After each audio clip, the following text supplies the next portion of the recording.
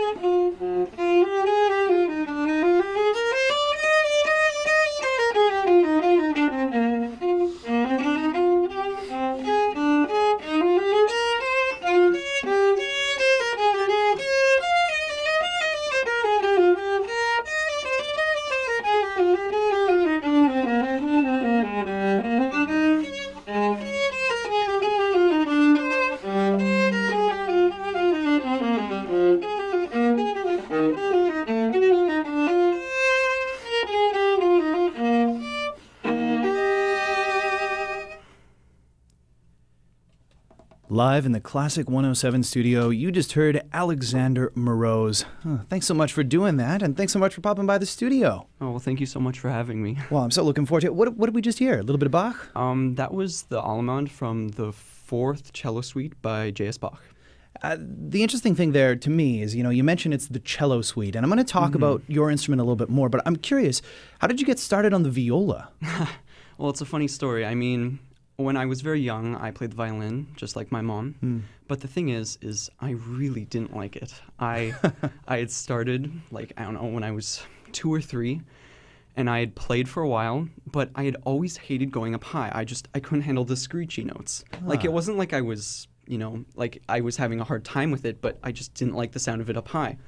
And so around the summer of when I was nine years old, I was at a summer camp and I just refused to play on the E string at all. I just I wouldn't do it. And so my mom said, "Well, you have to play an instrument, Sasha. You j- can't just quit." And so she said, "Why not the viola?" And I thought, you know, hmm, I, I've never heard of the viola. And so I guess the idea for me was is that it was unique and I liked being different than most people, so I gave it a try and it just stuck. No kidding. I'm so thankful that it did. It's got such a warm sound, the viola. Like you say, you know, that kind of Mm. the, the screechy sound of the violin. And so often players change out of necessity, right? They're performing with friends and, you know, there's a, a few too many violinists and they're like, well, someone should go down to viola. But it's interesting that you just wanted to make the switch yourself. Mm-hmm. That's a, that's a pretty exciting thing. Uh, I'm curious, right now, um, with whom are you studying? I'm studying with Dan Scholz. He's the principal violist of the Winnipeg Symphony Orchestra. And I mean, he's almost like a second parent to me. I've, Yeah. I've known him since I was very, very young. And yeah, I enjoy our lessons a ton. And you're you're currently in grade 12, right? Yeah, I'm just finishing grade 12. Well, that's pretty exciting. There's a, there's a Yep. lot coming, a lot coming down the pipe. Um, one of the other things that I was thinking about too is I, I alluded to that idea of you know changing instruments to, to fill out the harmony. It also kind of nicely plays into the family band, right? To It have a viola there. It works quite nicely. So, with- what can you tell us about the family band? well, I mean, my mom's obviously a violinist and my dad is pianist, and Mm-hmm. my sister plays the cello. And so together we make up a piano quartet. yeah, perfect qu- Yeah. piano quartet. It's it's great. I mean, just now we were playing at a fundraiser and we played uh, Schumann piano quartet, and I mean, just kind of put it together. It was tons of fun. Uh, well, do you guys play together often? Um, when we have time, I mean, we were pretty busy, but yeah, we played we played some stuff before. I mean, we've also done Beethoven's uh, Answer the Telephone Quartet, Mm-hmm. Different things. Yeah, uh, take me back to the early days. You know, growing up, I, obviously music was a part of the family. Mm-hmm. Um, for those of you listeners who don't know, I'm speaking with Alexander Moroz. Uh, he is the son of pianist David Moroz and uh, WSO concertmaster and violinist Gwen Hoebig.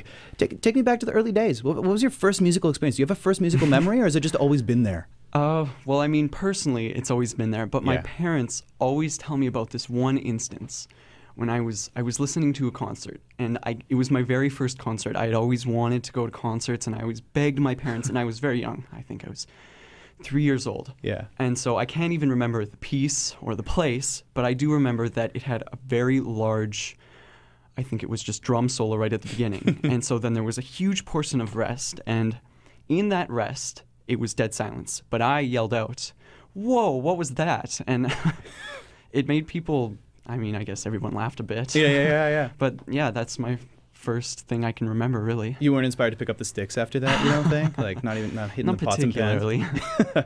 well, you, you played for us a little bit of Bach, a, a cello suite on Mm-hmm. the viola, and I'm curious. Like when I think of viola repertoire, again, the first thing that comes to mind is, is chamber music, Mm, right? mhm, I mean, there are uh, uh, far fewer viola concertos than violin concertos, and I mean, there are a few that come to mind. Telemann, uh, which was just performed not long ago by the MCO, Max Mhm. Mandel was in town Right, performing right. it. Uh, it was solid. I was there. Uh, Hoffmeister wrote some, uh, of course, in Berlioz, uh, Mhm. Italie, viola very prominent. mhm. What kind of challenges does that kind of lack of, of solo repertoire present to you as a young player? I mean, well, one thing it lacks is that it's really hard to do something kind of different and individual because there are a few staple concertos and Yeah. sonatas. Like there's the Walton concerto Mm. and the Bartok concerto and like things like the Clarke sonata. But everybody plays those. Mm. Every like if you want to be a strong violist, you have to play those things. And so it's kind of difficult to find individual repertoire. And I mean, obviously, one thing, especially for me, that I love is chamber music. And so I do take refuge in that a little bit, and I really enjoy playing chamber music a lot. And I mean, it's been easy, as you said, because I've just I've grown up around it. It's kind of easy to adapt. The other exciting thing to me about chamber music is that collaborative aspect, Mm. right? Being part of a, a, like a greater whole and just making something together. Um, before I ask you about your solo rep that you're going to be doing this weekend, I want to ask you about National Youth Orchestra. it was Mm, something that you did this past summer. Mhm. What can you tell me about the experience?